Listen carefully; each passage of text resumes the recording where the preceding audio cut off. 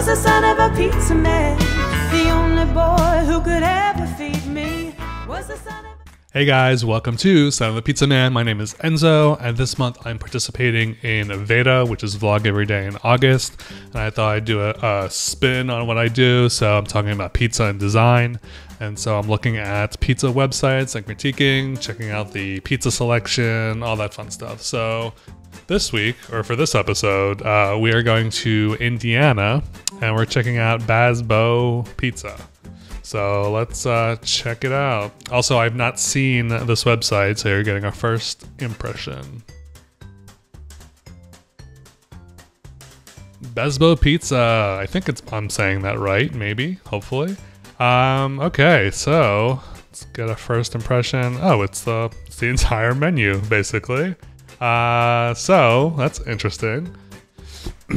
uh, so the homepage is the menu page. Um, so let's talk about the website. I love that there's a huge uh, banner image. That's that's lovely. It's always nice to have like a visual.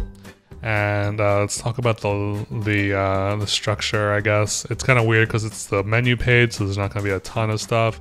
It's nice that there are actually uh, slider images above each section of the menu. That's nice to kind of show that. And then there's some locations and about.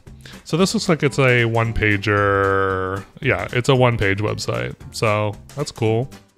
I don't know that I would necessarily start with the menu though. Um, I wish there was like something else, like some kind of like welcome or I don't know, these are specials or something.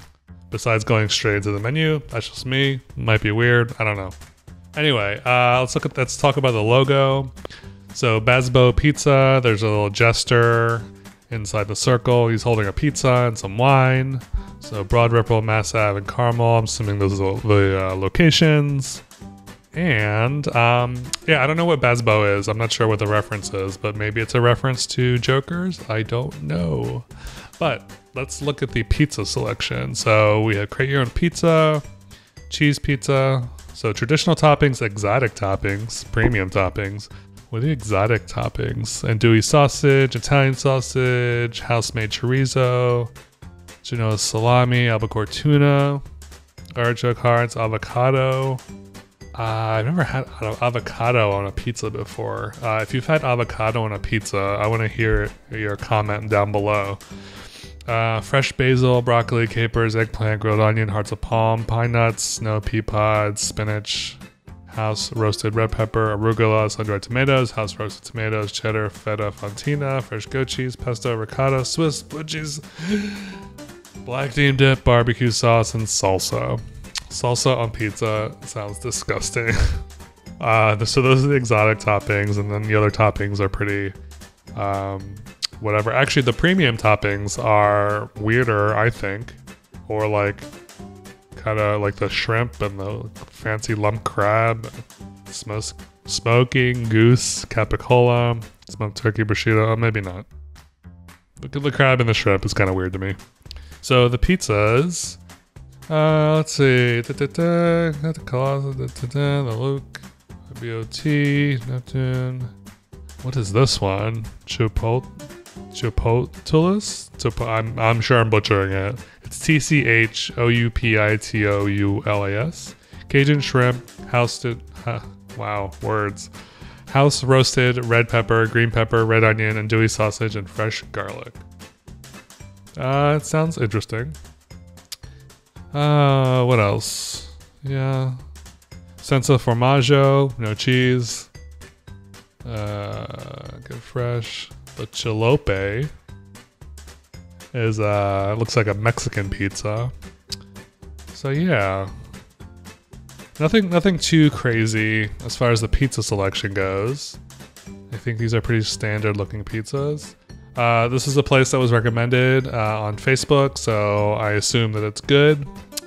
So whoever recommended this, uh, if you're watching, uh, if you tell me what what you recommend out of these pizzas or what you've had, that would be awesome.